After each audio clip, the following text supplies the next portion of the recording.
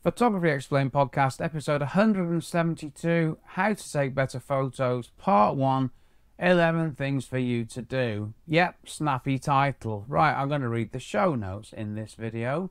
Hi, Rick here. Thanks for joining me. I hope that you are well.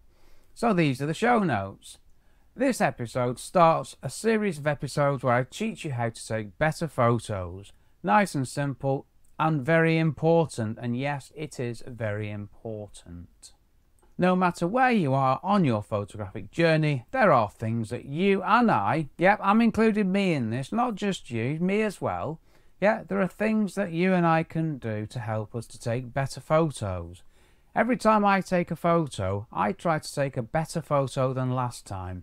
And I'm going to tell you how I do this in this series of episodes. So, it, it, again, it's based on my experiences, it's based on what I know, what I do, what I've learned, the good bits, the bad bits, the bits you don't need to worry about. So, it's all good stuff. Well, of course it is. So, in this episode, I tell you what is the most important thing in photography.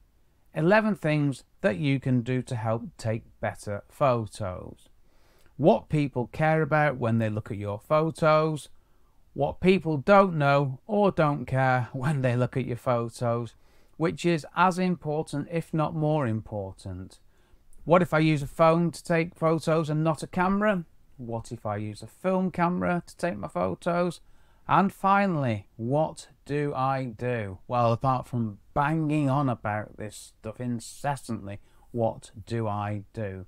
And this is all explained in plain English without the irrelevant details in less than 27ish minutes. What is not to love?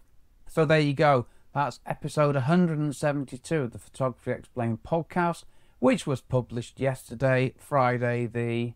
Oh, what date is it today? Friday the 19th was yesterday, because today's Saturday the 20th yes, between us, I'm now at the point where I'm recording these videos on the day that I should be doing rather than doing them in advance. So it's all good stuff. So check out the podcast website at photographyexplainedpodcast.com and the podcast at all good podcast providers.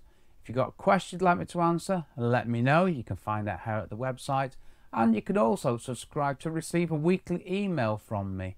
Just head over to photographyexplainedpodcast.com fill in the box, and that's all you need to do. Right, I am done. Thank you very much for watching. Take care, stay safe. Cheers from me, Rick.